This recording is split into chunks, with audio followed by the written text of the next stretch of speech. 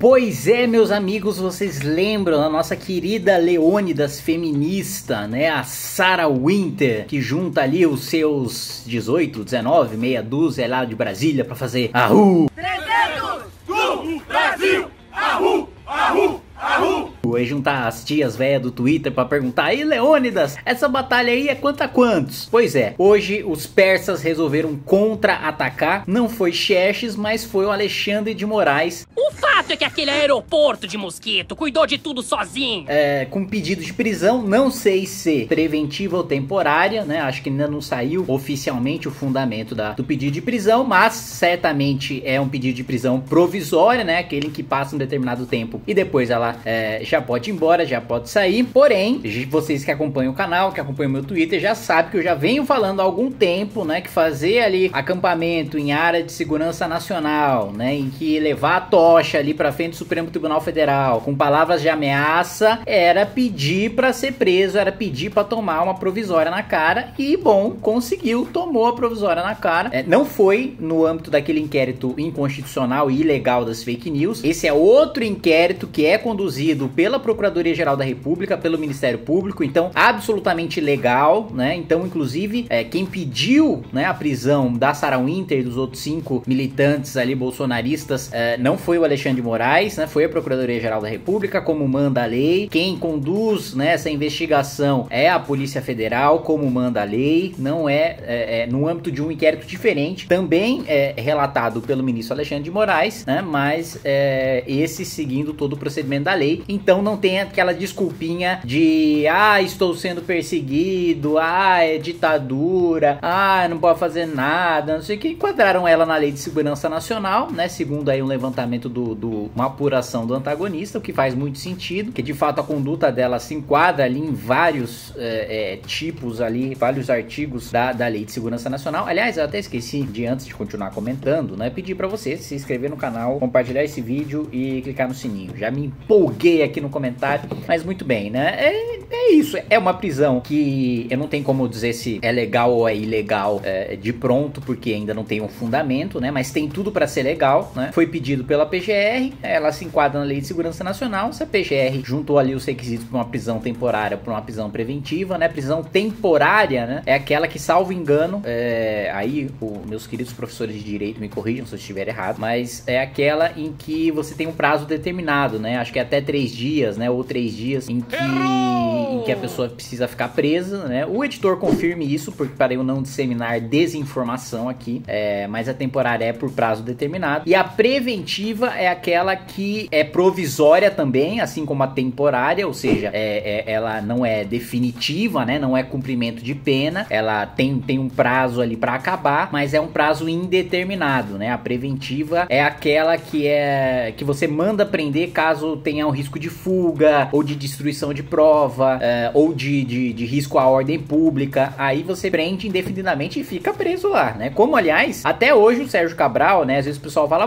o Sérgio Cabral tá, tá, tá cumprindo pena, né? Não, a, a, sentença dele ainda não transitou em julgado, ele só tá preso até agora porque a prisão dele é preventiva. Eduardo Cunha é a mesma coisa, né? Não transitou em julgado a sentença dele. Só tá cumprindo pena, só tá cumprindo pena não, só tá preso porque a prisão dele é preventiva. Pô, mas tem como ficar preso preventivamente tanto tempo? É, realmente é um, é um abuso do nosso judiciário. O correto é o cara ser condenado e ser preso e começar a cumprir pena, né? Não ficar preventivamente, que a preventiva não é para cumprir pena. É uma distorção do nosso sistema, mas é uma distorção porque que ela existe, né? Muito porque o nosso sistema processual penal né, é muito moroso, o nosso judiciário é muito lento. A gente tem juízes, é, infelizmente, muito caros, mas que é, não produzem o suficiente para é, condenar rapidamente as pessoas que precisam ser condenadas, absolver rapidamente as pessoas que precisam ser absolvidas. E a gente teve também, claro, aquela decisão muito criticada por nós, por mim, enquanto deputado federal, coordenador da MBL, pelo próprio MBL, é, da prisão em segunda instância, né? Que nós lutamos ali para reverter na Câmara. Acredito que deva ser revertida assim a decisão do Supremo na Câmara assim que passar a pandemia. Mas esse, essa distorção no sistema é o seguinte, né? Precisava de um, de um meio para manter bandido que claramente é bandido preso, né? Que você já tem todas as provas, etc. Que só não transitou em julgado por uma questão burocrática processual, né? Não é que, ah, tem alguma alguma dúvida na defesa e tal. O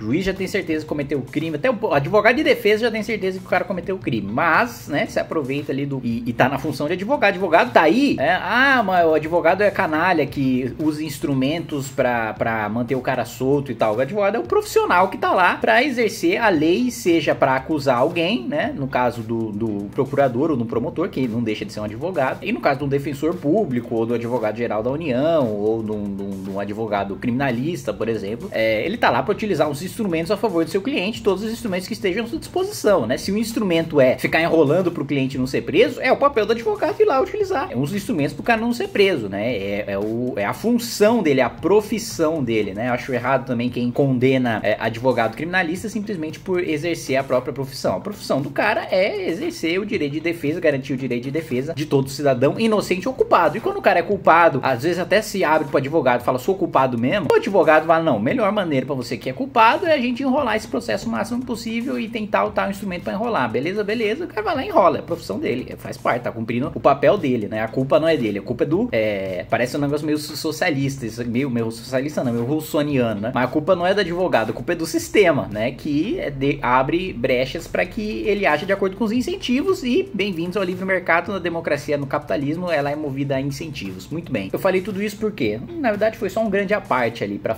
fazer uma crítica ao nosso sistema e dizer por que, que o pessoal tá em preventiva em comparação com o Lula, né? Por que, que o Lula saiu depois daquela decisão do Supremo de não poder prender a partir de, de prisão em segunda instância, né? Porque ele não, não foi preso preventivamente, né? Ele foi preso para cumprir pena mesmo, né? Ele não foi preso porque tava destruindo prova, porque tinha risco de fugir ou para ou pra, pra manutenção da ordem pública. Ele foi preso porque foi condenado, né? Diferente do Eduardo Cunha e do, do Sérgio Cabral, que ainda não haviam sido condenados, então foram presos é, é, Muito bem, é o caso da Sarah Winter, né? É, tá aí, pediu, recebeu e agora muito provavelmente vai, vai continuar é, é, rolando esse inquérito e ela deve ser condenada. E aí sim começar a cumprir pena mesmo. E aí não tem o que reclamar de ditadura, de perseguição do Supremo. É a lei sendo aplicada na, na sua melhor forma, né? A lei de segurança nacional, ponto final. Da mesma maneira que se aplica para Sarah Winter, se aplica para um black bloc que tenta é, explodir um coquetel molotov ali no Supremo Tribunal Federal ou faz um acampamento em, em área de segurança nacional, ameaçando membros, né, do, do, do poder. E, e a lei de segurança nacional, ela não protege só os poderes em si, né? Ela protege a pessoa física do presidente da República, a pessoa física do presidente do Supremo e a pessoa física do presidente do Congresso Nacional, né? Então, é, ela tem uma. Você ameaça, né? Essas três figuras, você não tá ameaçando uma pessoa comum, você tá incorrendo numa pena maior. Muito bem. Tem essa notícia, tem outra notícia também de que vazou, né? Que o Weintraub vai ser demitido e os ministros do Supremo já estão aguardando o Weintraub ser demitido e já tem a expectativa de que ele, sem foro privilegiado, seja preso em razão daquela, daquela, daquela reunião ministerial, né? Ou seja, um dos ministros que eram mais pomposos, mais lacradores ali do Bolsonaro, né? Que vivia xingando o MBL, chamando de bumbum guloso e não sei o que, e promovendo ucranização e fechar o Supremo, não sei o que, prender aqueles vagabundos do Supremo, na verdade vão prender aquele vagabundo do ministro da Educação, que, que vai ser demitido, né? Bolsonaro já deu o Ministério da Educação pro Centrão, só falta oficializar o ministro, mas todos os cargos aqui, isso tá no Diário Oficial já, é, todos os cargos de, de, de, de segundo, terceiro escalão já não é o Weintraub que manda, basicamente ele só tá lá e vai oficializar isso, vamos ver, muito provavelmente, né, o Ministério da Educação deve ficar com o PP, né, que já tá comandando o Fundo Nacional de Desenvolvimento da Educação, então Weintraub demitido e preso, né, pois é, meus coleguinhas, notícia bombástica ali, claro que não vai ser agora, né, vai demora aí alguns meses para até ele ser demitido, tal, aí a imprensa fala que ele vai ser demitido, aí o Bolsonaro fala que não é, que é fake news, ele segura um pouco, vai entrar no cargo, no final acaba demitido de qualquer jeito. Aí você tem é, é, o processo que já foi movido contra o Weintraub, vai continuar correndo na justiça, né? Não é porque ele deixou de ser ministro que o processo para de correr, continua ali na justiça, corre na justiça, ou tem uma. ou arranja alguma razão ali de preventiva, de, de temporária, ou ele é condenado mesmo e tem um cumprimento de pena. Enfim, é isso aí, meus coleguinhas. É, mas péssimo dia ali pro, pro, pro pasto é, bolsonarista. Que, aliás, uma última notícia para finalizar, tava até esquecendo de comentar. O Bolsonaro já tá pistola com, com, com, o pastinho ali, com o cercadinho, com o chiqueirinho bolsonarista, né? E está cogitando seriamente, né? Também outra notícia aí que vazou na imprensa, tá cogitando acabar com o cercadinho ali. Muito provavelmente também muito impactado pelo episódio da Cris Bernard, que foi lá é, enfrentar ele ali no, no, no cercadinho. Ele ficou claramente incomodado ficou falando disso o dia todo, e em outros dias também ficou comentando, e os filhos do presidente, a militância do presidente também comentando, pois muito bem, incomodadíssimo, né? É, não só com é, esses, é, esse episódio, né, da Cris Bernard, mas também com os malucos que vão lá encher o saco dele, que ele quer fingir que quer ouvir, que é atencioso e tal, mas ele sabe que é um bando de maluco, e ele só tá ouvindo por obrigação, ele tá ficando de saco cheio e quer parar de escutar. Então, estamos prestes ali a, a comemorar o fim do cercadinho de Jair Bolsonaro. É, já vão tarde, bando de mala. É isso aí.